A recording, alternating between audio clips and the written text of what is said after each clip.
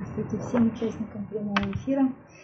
А, мы ждем главного гостя. Мы ждем Александра Геннадьевича Хакимова. Здравствуйте. Здравствуйте, рада вас приветствовать. Александр Геннадьевич Хакимов в эфире. Александр Геннадьевич, я сегодня только утром узнала, что сегодня день рождения вашей дочери. Очень рада вас поздравить. Вы знаете, это тоже еще одна ваша ипостась, потому что родители — это первые гуру, и это начало образования. Поэтому э, мои поздравления э, вас и вашу супругу. Поздравляю с днем рождения вашей дочери. Вашу дочь, естественно, поздравляем. Всех благ ей. Ну, я думаю, у нее и так замечательная карма, потому что она родилась в такой потрясающей семье. И знаете, э, я бы хотела, наверное, знаете, с чего начать, что э, я всю жизнь э, в сфере образования, и мне очень важно, что там происходит, и очень важно, а, что... Простите, я волнуюсь, я не ожидала, что буду так сильно волноваться. И э, мне очень важно, чтобы э, реальные люди сегодня спросили, задали реальные вопросы. Поэтому я буду даже озвучивать имя, даже буду озвучивать с их позволения, э, что это за люди, э, откуда они. Потому что это действительно крайне важно. Э, в образовании мы все присутствуем, но легко ли быть молодым, легко ли быть родителем, легко ли быть а, вообще таким, как сказать, неравнодушным человеком в этой сфере. И лучше, чем гуру, мне кажется, никто не ответит на этот вопрос. И вот нам представился просто потрясающий шанс. Вы любезно согласились принять участие в этом прямом эфире. И мы попробуем со всех сторон а, озвучить эту тему. Итак, можно ли такой первый вопрос к вам достаточно личный? Достаточно личный. Скажите, пожалуйста, в течение вот этой вашей долгой жизни, а, кто был для вас примером учителя? И а, какие качества в этом человеке вас, так сказать, за что вы его любили, за что вы его уважали? Ну, в течение жизни у человека может, может быть много учителей. Много учителей. Так и говорится древними людьми, что собственно, каждый, каждый человек, который встречается у нас в жизни, а, может быть нашим учителем в чем-то. Мы можем учить mm-hmm. угодно. Это вопрос как бы в позиции нашей личной позиции. А, например, современный мир, он как бы ну, не принимает эту концепцию ученичества, только mm-hmm. время принимает. Вот отучился, получил диплом, больше ты не ученик. Все. Да-да. А Древние мудрецы а, говорили, оставили нам наставление, что нужно учиться всю жизнь. И вот в этой позиции мы можем увидеть, что у человека очень много учителей в жизни, очень много полезных вещей можно получить. Я не, не, не всегда, конечно, знал об этой древней традиции, я не подозревал об этих как бы, традициях ученичества, но это главная вещь, потому что, собственно, смысл нашей жизни человеческой именно в том, чтобы учиться, обучать других только две функции, которые включают в себя... Учить и обучать других. Да, самое лучшее. Учиться и обучать других. То есть одновременно угу. ученик, одновременно я учитель. Если я услышал истину, я должен передать ее. Ну и в моей жизни были учителя в школе, например. Я помню да. до сих пор многих, многих, которые очень, очень сильно мне помогли. Вот их доброта, особенно я помню, знаете, были такие э, сцены очень трогательные, э, эпизоды моей жизни школьных лет. Мне встречались очень редкие люди, и я думаю, удача была в моей жизни, что я встречал таких людей, удивительно заботливых, с такой, вы знаете, энергией материнства и отцовства. Mm-hmm. И вот эта энергия материнства и отцовства является основой для обучения в школе или дома, или в институте, или в духовной жизни. Это всегда как бы ну, отцовство и материнство. Как мы духовника называем отец. Отец Да-да. там, Александр, отец там Михаил и так далее. Это отец, а отношение именно отцовства. Это, это и есть как бы отношение учитель-ученик. Вот. Ну и в моей жизни был также учитель, учителя в искусстве были, в области искусства, которым я очень благодарен, вспоминаю сейчас с большой благодарностью их. Затем у меня были учителя, э, как ровесники, э, с которыми мы искали какую-то истину, обсуждали, спорили. Я многому научился, конечно же, у них многому научился от собственного разума также. Мне дан разум как человеку. Разум тоже мне что-то говорит, тоже чему-то учит. Моя совесть, собственно, тоже есть. Учитель внутри меня тоже присутствует. Мгм. Но особенно, вот, особенно чему я ну, как бы благодарен по жизни, что особая удача в моей жизни, это мой вечный духовный учитель, вот, э, которого я встретил э, 35 лет назад, вот, который дал мне даже посвящение, дал мне наставления. Эти отношения у нас с ним вечные, это необычная душа, это редкая, редкая была возможность в моей жизни. Мне в этом смысле сильно повезло, что я встретил вот э, таких личностей и духовного учителя. Вот вкратце, что я могу сказать об этом. Потрясающе. Спасибо, что вы поделились такой очень личной, очень трепетной информацией и об учителях и в школе, и в сфере искусства, и в духовной жизни. И знаете, так радостно, что вы всегда знаете, помните об этом. Вот это ваше настроение ученика, оно очень ценно. Спасибо вам большое.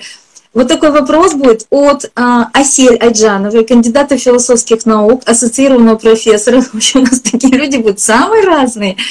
А, она из Караганды. Как определить молодежи свою природу? Она очень-очень трепетно думает о, молодежи. Как определить молодежи свою природу? Можете ли вы дать критерии, по которым человек может себя найти, найти свой путь жизни? И как образование может им в этом помочь? Это очень хороший вопрос. Да. Образование может помочь, конечно же, должно помочь каждому человеку найти себя. Это самое главное. Но образование может и сильно навредить. Мгм. Например, если образование создает какие-то догмы и стереотипы, а оно становится препятствием этому. Но вот сегодня, к сожалению, как бы это не редкость, отсюда, отсюда возникают наши вопросы современные, да? Как молодежи помочь найти себя? То есть мы что-то Да.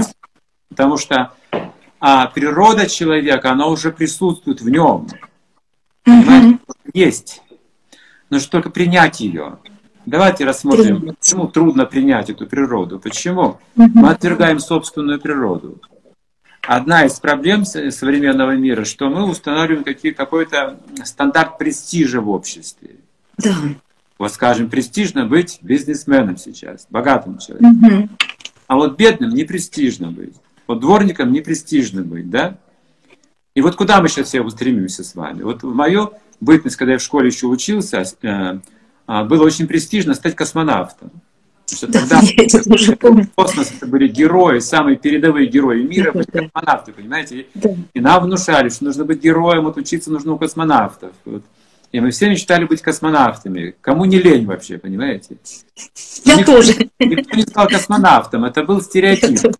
Ну, вдохновляющий стереотип, конечно, был красивый стереотип, но не применим к каждому. Не нужно каждому быть космонавтом. Вот в чем вопрос, понимаете? Из этого престиж делать не нужно. И вот древние мудрецы объясняют, что есть природа людей, она делится на какие-то, классифицируется. Знаете, природа классифицирована хорошо очень. Она разумна. Среди людей есть простые рабочие, есть бизнесмены, есть управляющий класс, есть духовенство учителя. Вот эти четыре класса вы всегда будете иметь. Как бы вы ни образовывали, вы не воспитывали, перевоспитывали, вы не избежите этих четырех и каждый должен находить себя в этих четырех. Кто он из этих? Врожденную свою природу найти. Никакого престижа сравнения не должно быть, что вот это плохо, а это Мгм. хорошо. Вот Мгм. плохо хочем, а хорошо быть, скажем, а, священником. Вот эти вещи не должны противопоставляться. А, В советские времена вот сделали серьезную ошибку. В Советском Союзе серьезную ошибку в образовании допустили. А, Стране нужны были инженеры одно время. Вот. И государство, оно стало привлекать молодых людей в политехнические институты, где есть льготная стипендия, льготное поступление, конкурса, то есть повышенная, повышенная стипендия, ну какие-то льготы стало предо- предоставлять. И масса-масса людей пошли в эти институты ради льгот. Не ради призвания, да, как такого, а ради льгот Да-да-да. ради этого престижа. Я инженер, это было модно быть инженером. И в результате страна получила очень большое количество плохих инженеров. И то же самое было в сфере медицины, медицинский институт, то же самое. Были врачи в стране. Тоже льготы, престиж, подняли это все, средства массовой информации, и лавина пошла туда. И в результате мы получили много дипломированных, плохих, без призвания врачей, понимаете? Мгм. А Мгм. теперь что не врач, что бизнесмен, понимаете? Вот как, как все это пыталось. Вот в этом мире, где, где престижны только деньги, люди никогда не найдут своего призвания. Мгм. Вы знаете, я Спасибо вам огромное. Я прочла такое потрясающее определение ведическое. А кто такой образованный человек? И а, мы-то полагали это множество дипломов. И вдруг я столкнулась с тем, что образованный человек – это тот, кто, кто знает, как стать счастливым. Вот это определение меня просто, знаете, потрясло, потому что оно абсолютно в точку бьет. И действительно вот эти ненужные стандарты, они отягощают наше сознание. И дети, замороченные вот этой информацией, они не могут определиться в этом мире. Спасибо вам большое. Очень ценная информация. Вопросов так много, что я прям отбивалась от вопросов, так что я буду последовательно задавать. Евгения, 12 лет, город Ростов-на-Дону. А надо ли заставлять детей верить в Бога? Не лучше, не лучше ли было бы, чтобы человек сам решил, когда вырастет, верить, когда вырастет, верить в Бога и в какого Бога? Просто девочка посмотрела передачу, где достаточно жестко, так сказать, э, навязывали Бога и даже сказали, что вы умрете. И она напуганная после этого такой вопрос задала. Да, да. Вот ребенок спрашивает, да. Это то же самое, как взять пистолет, приложить его к чьей-то голове и сказать «люби меня, люби меня, люби меня». Да-да-да. Нет, это не духовные методы. Да-да. Это больше относится к сфере политики, я думаю. Когда религия угу. политизирована, тогда заставляют какую-то религию из-за политики. А религия — это в сердце то, что это любовь. Это внутренняя энергия, которой вы подчиняетесь спонтанно, невольно, так же, как вы влюбляетесь, скажем, так же, как вы стремитесь к знанию спонтанно, невольно. Вы хотите правду слышать спонтанно, невольно. Вы хотите жить в чистоте спонтанно и невольно. Вот. Нас, нам нужно просто показать, показать друг другу, что такое настоящая любовь, настоящая чистота, настоящее здоровье, настоящее mm-hmm. счастье. Вот, вот, вот этому детей нужно обучать а у всех есть спонтанное стремление к Богу, как к чистоте, mm-hmm. как к любви, как к здоровью, как э, к счастью. Потому что Бог как раз вот это вот все самые эти лучшие слова вместе взятые будут называться Бог. А тот, кто вас пугает э, Адам, это больше ну, для людей, может быть, каких-то невежественных или политизированных. Mm-hmm. Это время уже как бы проходит. Мы mm-hmm. уже к категории людей не относимся. Мы ждем доброту, любовь, знания, вот, вот такими методами. Спасибо, спасибо большое. Сейчас действительно очень, очень многих людей это вводит в заблуждение. А тут вопрос прямо от ребенка. Так что спасибо за ваш развернутый ответ. Итак, Бог это, это любовь. Спасибо. А, Кукушкина Анфиса, кандидат исторических наук, профессор, академик. Вопрос такой, Александр Геннадьевич, так сложилось, что каждое предыдущее поколение критикует последующее, и в том числе и те тенденции, которые наблюдаются в современном образовании. Вот на днях она цитирует ваши слова, вы в одной из лекций сказали «критикуй», но критикуй и предлагай. Предлагаешь – бери ответственность и действуй. Какие шаги на сегодняшний день были бы, на ваш взгляд, наиболее действенными? Как могли бы мы одухотворить наше образование? Ведь изобилие новых предметов и технологий не дают возможности подрастающему поколению проявить свои лучшие качества. Ну и сориентироваться в своей природе. Вот этот вопрос тоже был. Длинный вопрос. Может быть, что-то уточнить? Не, не, не нужно никаких а, экспериментов. Угу. Раз вы меня спрашиваете, я не хочу, чтобы вы делали какие-то эксперименты, не хочу давать пищу для экспериментов над людьми. Вот такое попробуем образование, да, и мы поколение теряем разумных людей. Вот такое теперь давайте попробуем образование. Опять у нас что-то не получается. Эксперименты mm-hmm. не, не нужно делать. Нужно точное знание, точное знание. А образование начинается с познания самого себя. Вот тут вы не ошибаетесь. Вот тут не будет экспериментов. Познать самого себя. Постижение самого себя. Да, образование начинается с постижения самого себя. То есть учитель, прежде всего, должен быть сознающий личностью себя хорошо. Самосознающей личностью.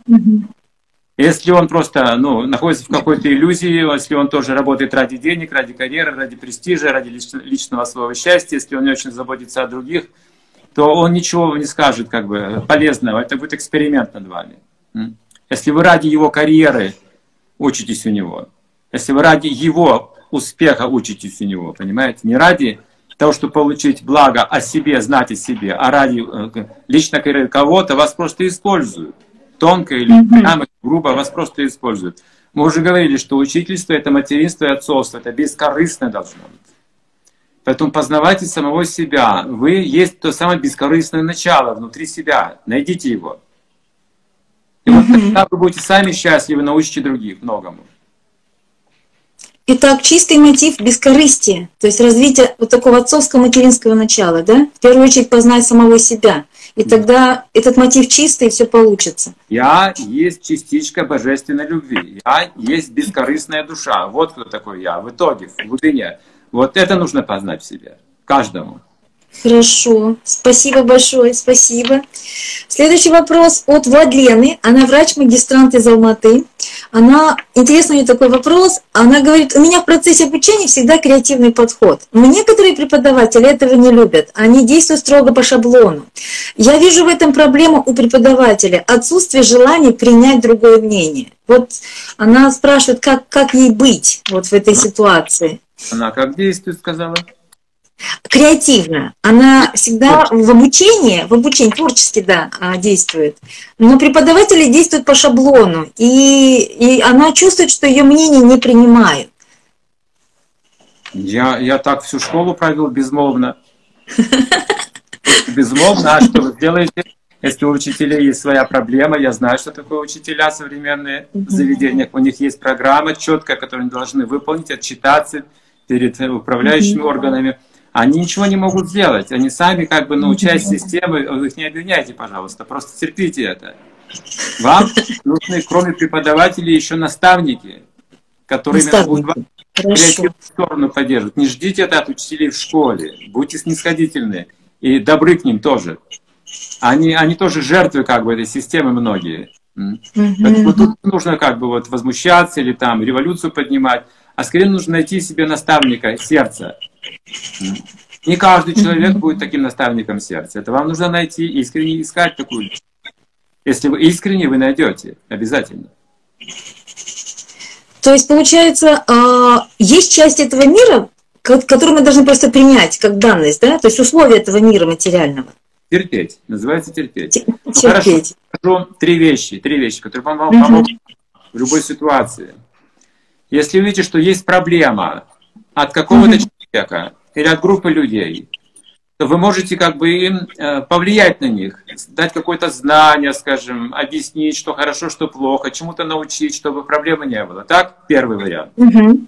Второй вариант. Вы видите, что проблема от вас самих исходит. Ну, в силу какого-то характера вы тоже можете создавать проблемы. Вы себя над собой работаете. Второй вариант. Первый вариант. Вы окружающего, окружающих.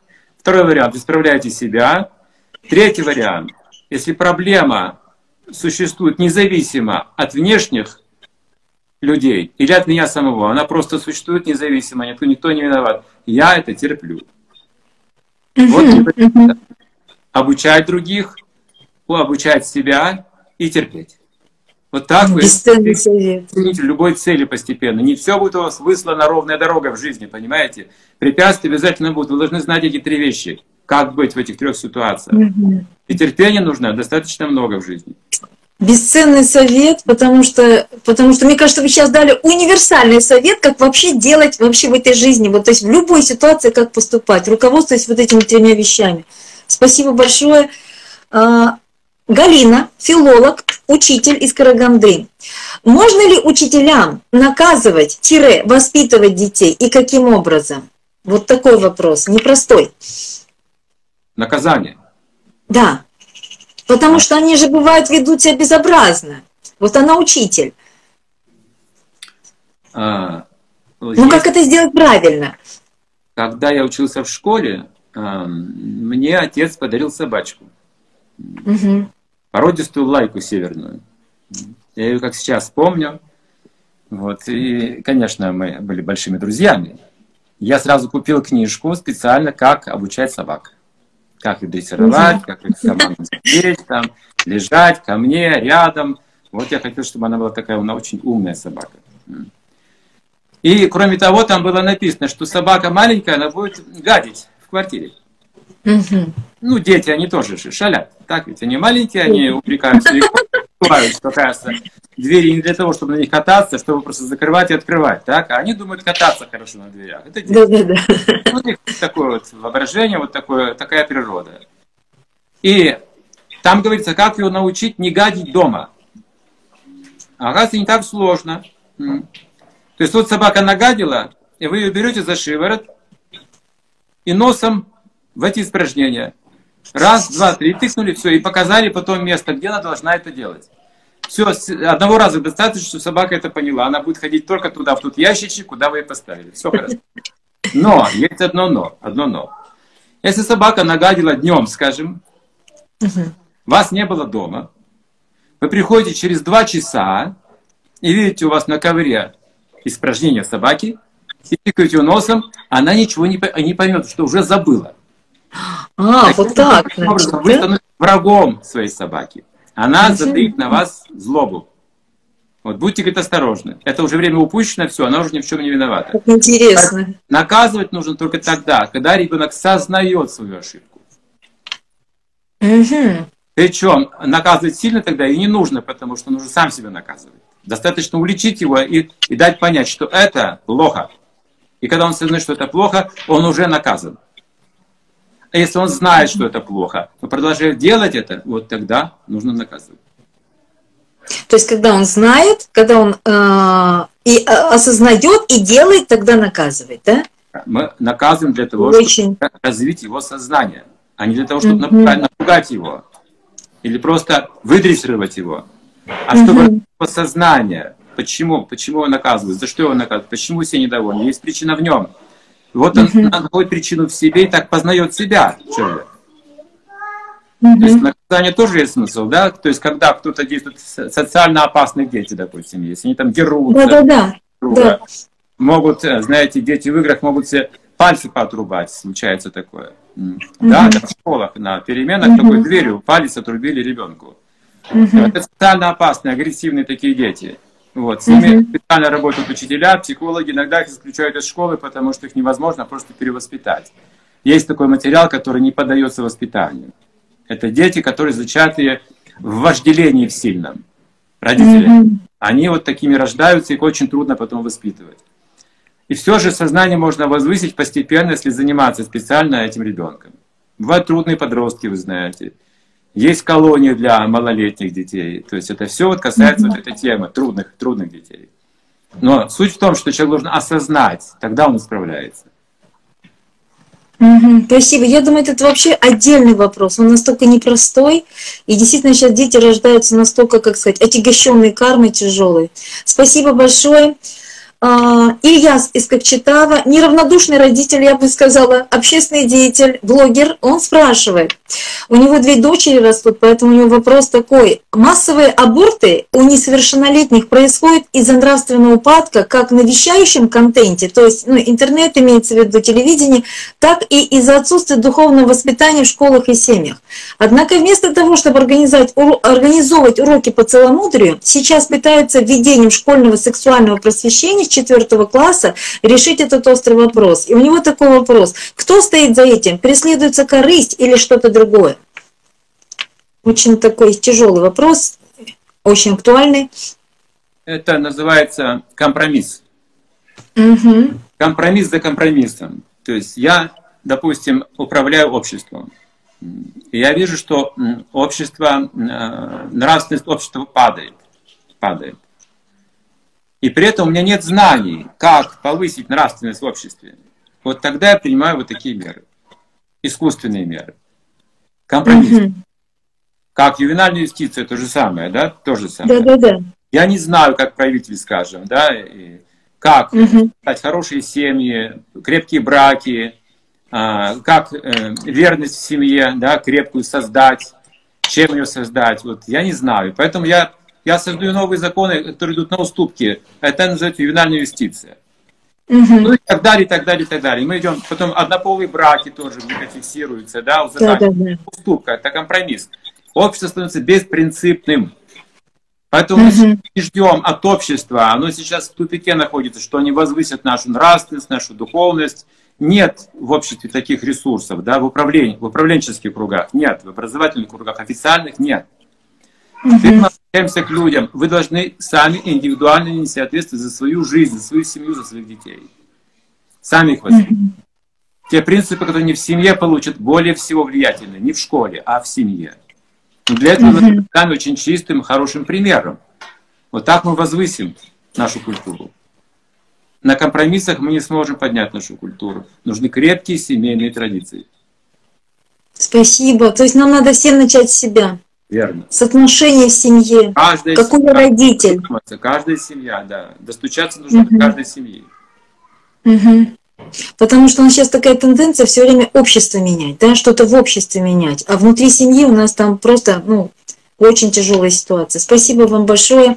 Алина, преподаватель, она преподает по методу Штайнера, уч- она, э, мама живет в Италии, она спрашивает, дистанционное образование несет в себе формальные знания, все это понимают, оно не дает чувства коллектив- коллективизма, чувства локтя а, и связи учителя с учеником, нет сотрудничества. Что в такой ситуации учитель должен делать, особенно в младших классах, где отсутствует процесс воспитания ребенка и связи с учителем? Это называется индивидуализм. Мгм. Форма эгоизма, замкнутости. Мы все становимся аутистами, видите, сейчас. То есть Да, да, сейчас такая тенденция. уже стали больными людьми, раз у нас такие формы образования. Потому что э, форма образования может быть только одна. Это личностная передача знаний и качеств. Это не автоматы, не какие-то тесты механические. Это личность учителя, который является примером, наглядным примером. Без примера, как говорится, поступки сильнее слов. Вы должны видеть перед собой пример учителя, не просто его слова или формулы какие-то запоминать. Это называется древними на санскрите ачар-прачар. То Мгм. есть два способа обучения, не один, два способа. А прачар означает, что мы говорим. Прачар означает говорить или проповедовать какую-то истину, нести людям. А, но это не сработает без ачар. Ачар означает поведение. Поэтому должен Мгм. быть живой учитель, живой ученик. Есть ачар и прачар. Вот только тогда общество будет впитывать какие-то ценности настоящие. Мы не должны воспитывать механизмы, да, запрограммированные э, компьютерные мозги, которые хорошо могут запоминать и отвечать на какие-то вопросы. Нет, еще люди должны быть высоконравственного поведения при этом. Мы даем высшее образование, а человек может оставаться негодяем при этом. Вот да, это да, вот да. Это очень серьезный момент. культура сочетания негодяйства и высокого образования технического. Это значит общество негодяев, представьте, образованных негодяев. Еще Вот. образованных. Это же В этом смысле что лучше, образованный негодяй или необразованный негодяй? Вот лучше все-таки негодяй, кто понимаете? А если уж образованный, то он не должен быть негодяем. Это опасное сочетание. Мгм, мгм. Спасибо большое. То есть опять каждый из нас должен стать образом да, в своей семье и личностный подход. Спасибо большое. А, Константин из Москвы спрашивает, какой самый важный опыт родители должны передать ребенку? Это ощущение блага от добрых дел, он предполагает, или взаимодействие со счастливыми взрослыми, действующими из принципа изобилия. Ну вот у него, по сути, и ответы есть в вопросе. Вот такой вопрос. Ну, неплохо, вы говорили о каких-то благочестивых делах, это неплохо. Да, неплохо. да. Я хочу ответить вам а, по высшему стандарту. Я принимаю все хорошее, что вы скажете, любую вещь. Но также я беру смело на себя утверждать, что все хорошие вещи без поддержания высшего принципа, они придут в упадок рано или поздно. Они утонут, все равно утонут, они смочатся этой водой материального, а, материальной корысти, материальных условий, человек человеку волк в этой борьбе. Мы можем потерять все самое хорошее, понимаете? Поэтому высший принцип, который именно поддерживает постоянно эти лучшие качества людей, это любовь к Богу. Мгм. Это любовь к Богу. Это то, что забыто сейчас в обществе людей. Ведь любовь к человеку есть, любовь к животным есть, любовь к природе есть. Но почему, если мы все это имеем, мы страдаем, продолжаем? Потому что нет поддерживающей силы главного того, что есть источник всего этого. Источник всех живых существ, источник людей, источник животных, источник растений, источник природы, источник космоса, источник религии, всего. Это божественное начало. Вот, вот у нас с ним потеряна связь. Вот почему падаем. Мгм. То есть гуны благости недостаточно. Недостаточно, а потому что Мы благости выше. Это ступенька, чтобы подняться выше. Это не цель, это средство. Мгм. Это ступень, достаточно хорошая, но ступень, да? Спасибо большое, спасибо.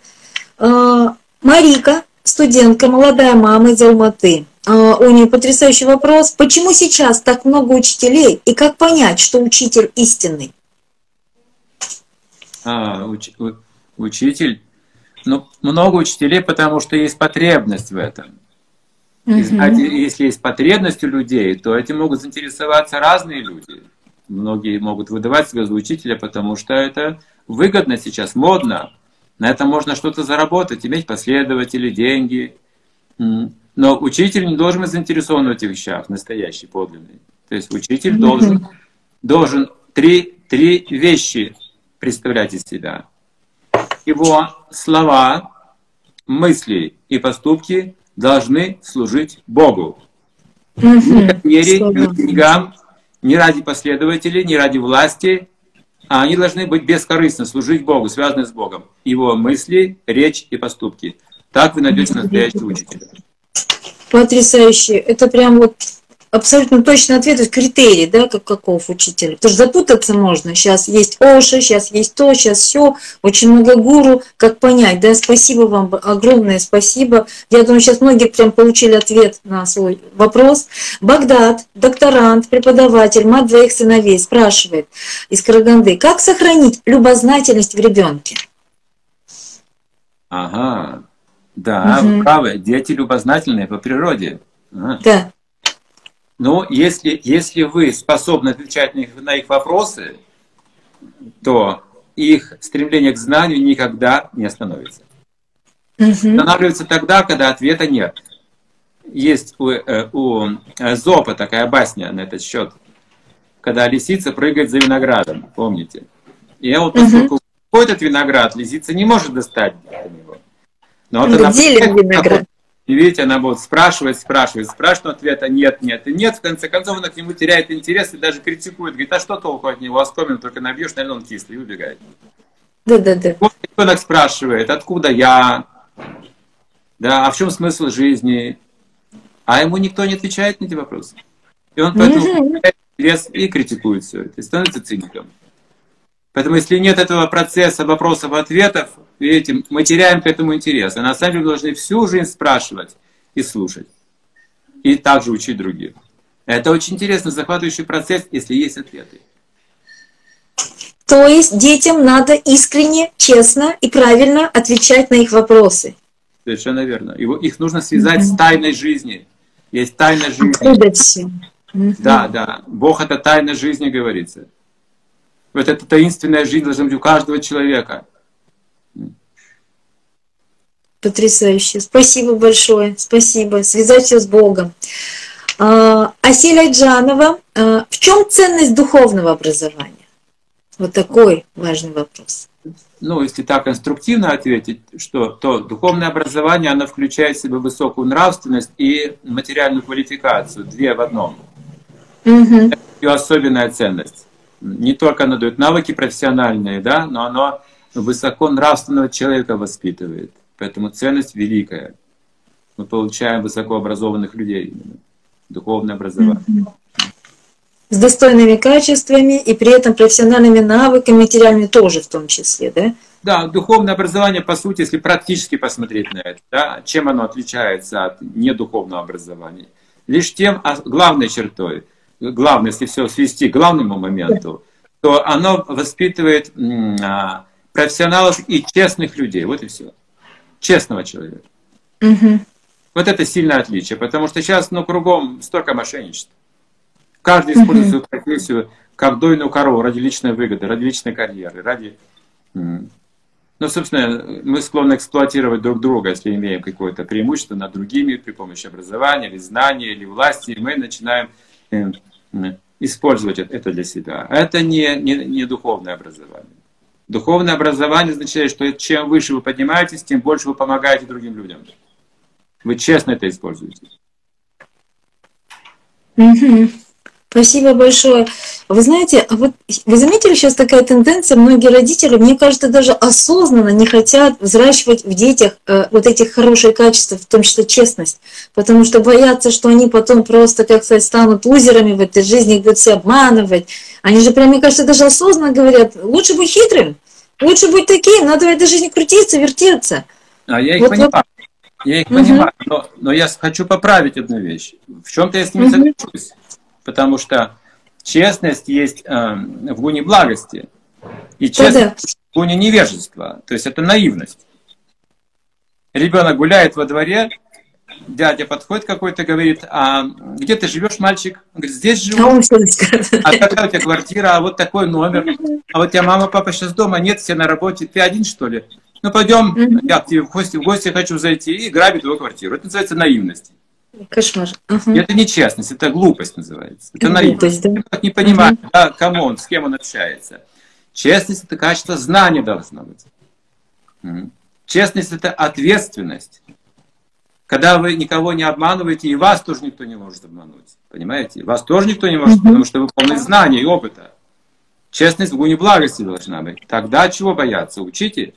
Но вы не можете научить, да, честности в благости. Поэтому вы говорите, нет, не надо. Вы идете, идете на компромисс, потому что иначе тебя обманут, если будешь честным. Вы идете опять на компромисс, не зная, да, как человека сделать честным по-настоящему. Честность это могущество. Это могущество. Потому что вы не должны говорить просто какую-то правду кому-то, да, всем. Всем говорите себе, где вы ночуете и куда вы идете. Вы должны говорить абсолютную истину прежде всего для людей. Mm-hmm. Вот на этой платформе мы уже начинаем быть честными, потому что без Бога о честности речи быть не может.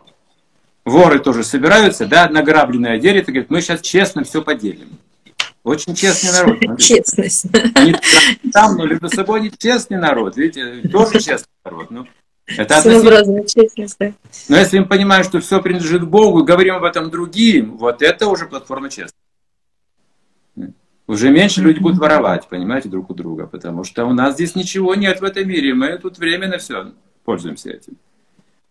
Это, это честное знание, открытое, правдивое знание. Mm-hmm. Вот с этого нужно начинать, с абсолютной истины, опять же, с самоосознания кто я в этом мире, что мне принадлежит, да? Да. Иначе, когда Иисуса спросили, как поделить наследство, как там поделить имущество, там разводная, там или еще что-то, как вот это.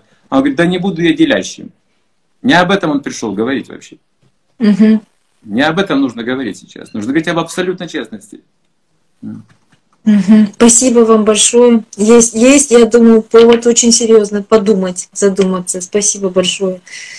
Нурсултан, врач, преподаватель из Петропавловска. А, у него личный вопрос. Он говорит, я окончу медицинский вуз, но сейчас э, понимаю, что иду в сторону другого вида деятельности.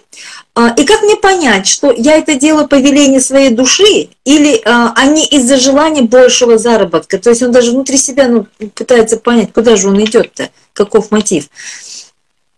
Та деятельность, которую вы хотите делать э, даже без денег – это и есть ваша природа. Угу. Вот вам не платят.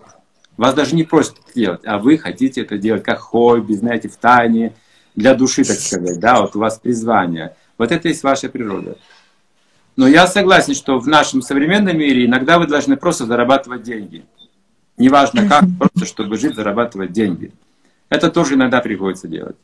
Поэтому работайте на любой работе, лишь бы как-то выжить. Но в тайне делайте что-то бескорыстно для Бога, в соответствии с вашей природой. Это будет ваша удача. Ну, думается, что вообще мужчинам, э, согласно Дхарме, Дхарме, желательно, да, то есть работать, даже если это не всегда соответствует его природе, чтобы семью прокормить. А, да, то мы это... даже это не обсуждаем. Просто что-нибудь делайте, хоть грузчиком работайте, лишь бы семью поддержать. это нормально. Ради поддержания это долг. Хорошо. Спасибо большое. Айжан Алжанова, преподаватель. Как преподавателю не потерять творческий подход и вдохновение, передавать навыки, а, умения из, э, ввиду загруженности отчетами, бумажной работы и так далее? Не знаю, как в такой ситуации не потерять, если там... Я не думаю, что это будет вам легко. Но все-таки, если вы в сердце как бы ну, связаны а, с Богом, по-настоящему, вы все же ну, будете радостным, позитивным человеком, даже в такой трудной ситуации. Ну и также mm-hmm. думайте, что вы не случайно попали в такую ситуацию. Ну, судьба mm-hmm. такая, видимо, да? Сегодня, ну, вы, сегодня, сегодня такая ситуация, что брак проклят, учителя прокляты, доктора прокляты. Mm-hmm. Видите, самые такие важные звенья общества мы бедствуем. Доктора бедствуют настоящие, учителя бедствуют. Мгм. Семейные люди страдают сильно. Хотя все это должно быть на высшем уровне, но в наш век все это упало. Наша еще задача поднимать. Наша задача. Мы должны сейчас понять свою роль, да? Если мы сейчас, ну представьте, сейчас как война идет, война как будто бы идет. Информационная война, духовная война за человека, да, за личность, за нравственность, за любовь. Вот. И эта война означает, что теперь военное время, и мы не рассчитываем на комфорт. Во время войны мы не думаем, в окопе должны жить сейчас, понимаете, на кочке должны жить. Вот в одном месте переночевали, в другое идем. То наступаем, то отступаем. Да? Вот сейчас мы в таком положении находимся. Мы строим будущее. Основу для новых поколений, потому что мы сейчас уже упали. Уже упали. Нам сейчас трудно рассчитывать на нашу полную, счастливую, безмятежную жизнь. Наша жизнь будет счастье в том, что мы будем преодолевать себя и жертвовать собой. Я вам открыто это говорю. Комфорта не ждите. Мгм. Будет нелегко, но это будет высокий путь. Герои, герои живут все. То есть нам, учителям, нужно понять, ну, во-первых, мне прям эта фраза очень-очень откладывается сознание, что комфорта не ждать. Ожиданий не должно быть, что вот когда-то все будет комфортно и замечательно, с претензиями не бегать, что вот все правительство опять неправильно что-то сделало. То есть, потому что за нами будущее получается. То есть, Да. получается, мы должны вложить. Познавать себя. Если вы в свою жизнь, за свою жизнь воспитаете одного чистого человека, ваша жизнь будет успешна. Мгм. Спасибо большое. Потому что, мне кажется, сейчас настолько престиж сферы образования упал, что, что люди ну, окончательно забыли об этом. Хотя я знаю очень много учителей по призванию, просто настоящих преподавателей от Бога, и они действительно жертвуют собой. Спасибо, спасибо большое. А, и Знаете, вот по этому поводу хотела сказать, что когда у меня вот эта бумажная рутина наступает, я обычно стараюсь, вот как сказать, вот я чувствую это как буря в стакане воды. И я чувствую, моя задача, как сказать, максимально подальше от этого оказаться, чтобы меня не втянуло вот в этот абсолютно никчемный, ненужный круговорот событий. Я прям чувствую, как сказать, вот, что это просто временно, просто надо это сделать и забыть. То есть вот не вовлекаться в этот процесс. Но, но с большой радостью я захожу в аудиторию. То есть там, где студенты, там, где э, жизнь. Вот, то есть это, вот, вот это моя настоящая работа. Все остальное это просто ну, часть процесса, как сказать, ну как это сказать, побочный эффект. Не знаю, вот, как у лекарства бывает. Поэтому спасибо большое. А, Ольга, преподаватель, мать троих детей, Калининград. Как наставлять уже взрослых детей, которых не родили и не воспитали в духовности? Да, Важный вопрос. да, да, да, да. Да. Бывает, что поезд уже ушел, случается и такое. Мгм. И все же Да. каждый человек склонен повернуться лицом к знаниям духовным при четырех обстоятельствах.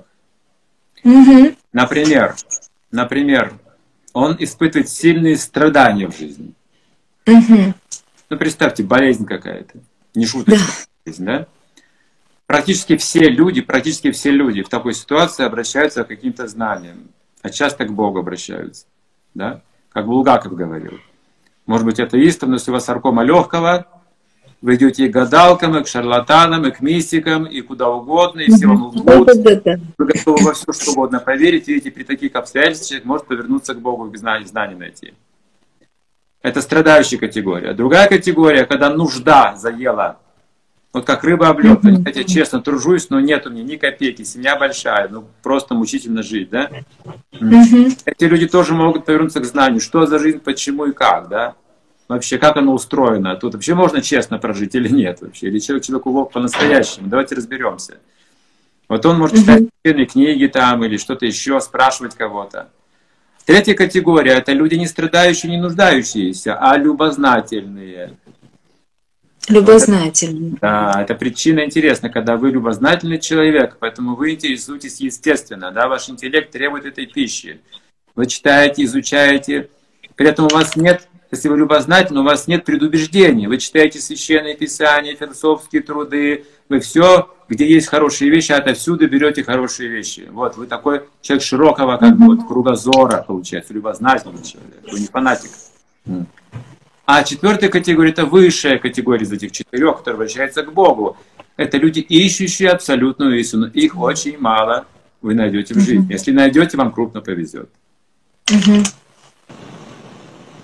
То есть, так или иначе, обстоятельства их вынудят обратиться к истине. Да. да. Если у них есть запас благочестия, они так или иначе повернутся к истине. Если нет, они станут, может быть, преступниками или что-то в этом духе. Или паразитировать в обществе будут. Это другая категория людей уже. Не благочестивых. Это благочестивые люди были, мы сейчас перечислили. Да. А неблагочестивые, они могут стать негодяями, могут стать очень плохими, нарушать законы, эксплуатировать. Диктаторы могут стать, преступниками могут стать большими. Спасибо, спасибо большое, очень емкий ответ. А, Жан Бута, магистр, специалист из Караганды. На какие сферы жизни должна ориентироваться, по вашему мнению, школьная система образования при обучении детей? Вот на что обратить больше внимания, на какие сферы жизни? Ну, как я думаю, что школу сейчас мы не можем изменить, потому что это же система. Я так понимаю, она не дает нам даже времени на какие-то новаторства, может быть.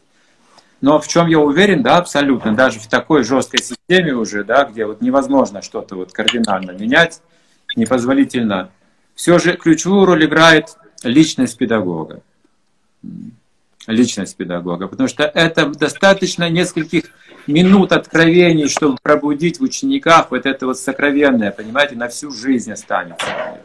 Вот минуту можете такую иметь, сокровенную, да, в классе, в какой-то момент – я помню нашу учительницу по математике, которая на, на классном собрании, когда пригласили всех родителей, когда она выступала и говорила о нас, мы плакали.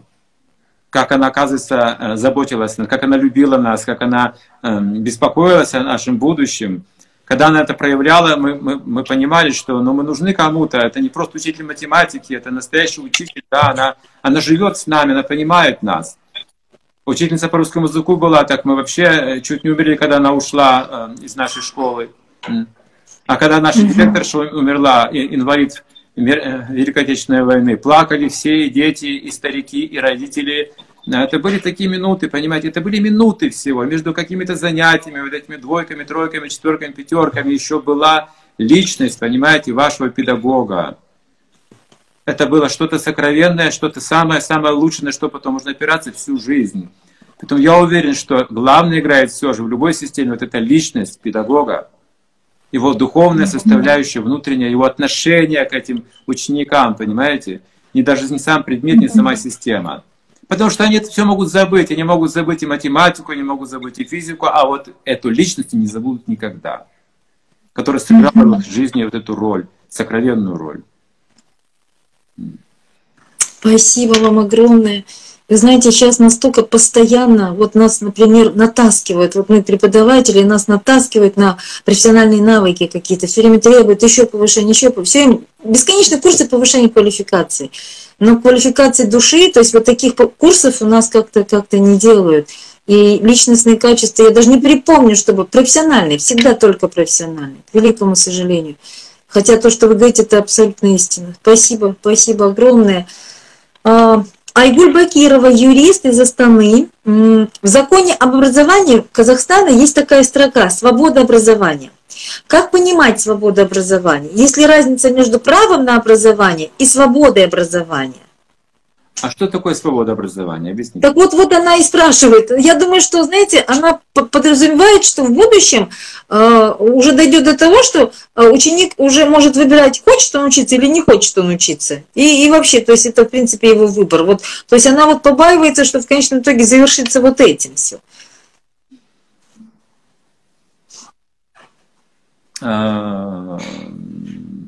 Вот представьте, древние изучили этот момент уже, да, человеческой mm-hmm. природы, он хорошо описывается древними, хотя это знание сейчас трудно извлечь оттуда многих, понять просто трудно. Но знание есть. И там нужно, скажем, птицу нужно обучать летать. Mm-hmm. Запрягать в телегу, пожалуйста, птицу не запрягайте в телегу. Mm-hmm. Птица должна летать.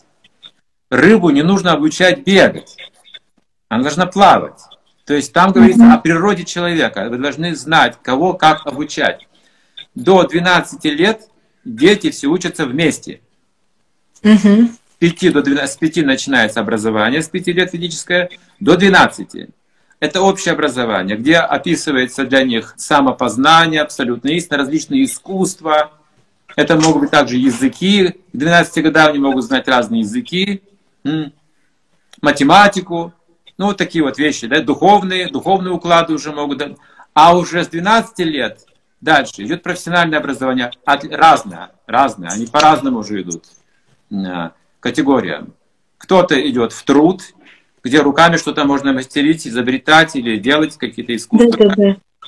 Кто-то идет в банковское дело, земледелие, в какой-то там производительные какие-то классы идут. Кто-то идет в администрацию, обучать, обучается руководить, организовывать что-то. Кто-то идет уже в интеллектуальный слой, ученых, психологов, скажем, там, не mm-hmm. знаю, философов или духовников. Вот, вот это разделение должно быть, потому что рыба бегать не сможет. А птица не сможет таскать какие-то телеги, понимаете? То есть уже природа должна быть занята. А до 12 получается общеобразовательный проект. Угу. Все будут счастливы, понимаете? Их не нужно сталкивать, да? Птица не должна соревноваться с лошадью. Вот какая. В природе же этого нету, да. Ну, Удивительно. Вот, У нас есть. Знания сейчас мы утратили это знание.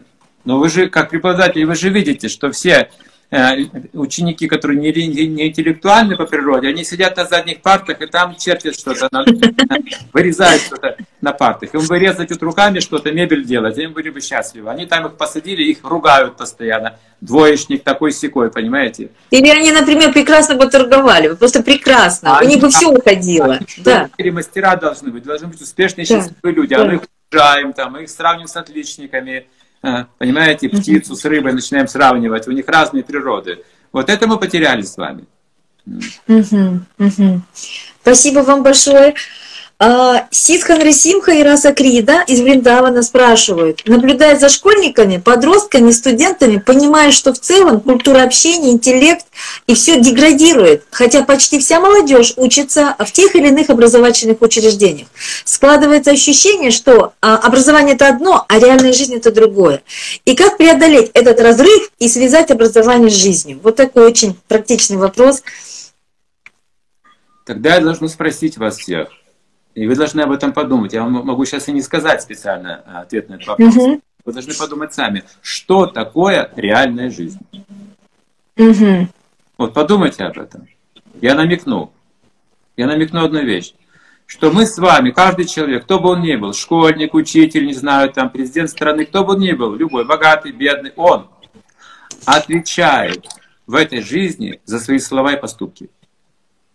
Перед кем отвечает и как это устроено? Подумайте, что это за реальный мир. Вот тогда вы все поймете. У нас у каждого есть одинаковая ответственность перед Богом. И мы все перед смертью равны. Подумайте, что такое реальная жизнь. Подумайте сами, дайте ей определение. Угу. Вы меня спрашиваете? Я для всех это говорю, все, кто нас сейчас слушает. Угу, угу, угу. Реальная жизнь, я думаю, угу, каждый. Вопрос. Хорошо, угу, хорошо.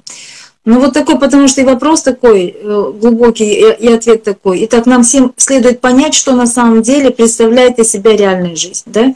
И кто я в этой реальной жизни, да? То есть каково мое место, кто я в этом мире. То есть очень важно э, это понять, и тогда ответ будет понятен, да?